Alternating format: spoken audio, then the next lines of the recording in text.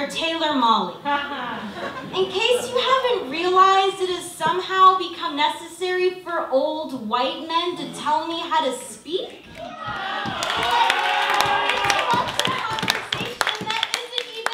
And are like, speak like you mean it. And like the internet is ruining the English language. And they like put my parentheticals, my likes and ums and your nose on a wait list. Tell them no one will take them seriously in a frilly pink dress or that makeup. Tell them they have a confidence problem, that they should learn to speak up like the hyper masculine words who are always the first to raise their hand. Invisible red pens and college been making their way into the middle of my sentences. I've been crossing things out every time I take a moment to think.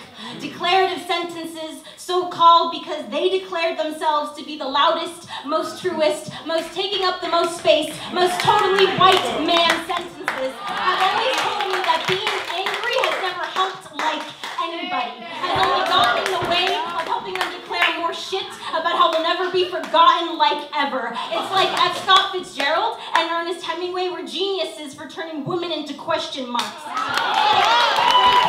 like rape's happening all the time on campuses, but as soon as Jon Krakauer writes about it, suddenly it's like innovative nonfiction and not like something girls are like making up for like attention. And it's like maybe I'm always speaking in questions because I'm so used to being cut off. Maybe everything girls do is evolution of defense mechanism. Like this is protection. Like our likes are our knee pads, our ums are the knives we tuck into our boots at night. Our you know are the best friends we call when we're walking down a dark alley. Like this is how we breathe easier. But I guess feelings never helped anybody. I guess like tears never made change. I guess like everything girls do is a waste of time. Mm. So welcome to the bandwagon of my own uncertainty.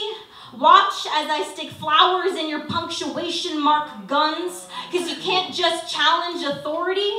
You gotta take it to the mall too. Teach it to do the bend and snap, paint its nails, braid its hair, tell it it looks like really good today. And in that moment, before you murder it with all of the poison in your life softness, you let it know that like this, like this moment is like, um, you know, me using my voice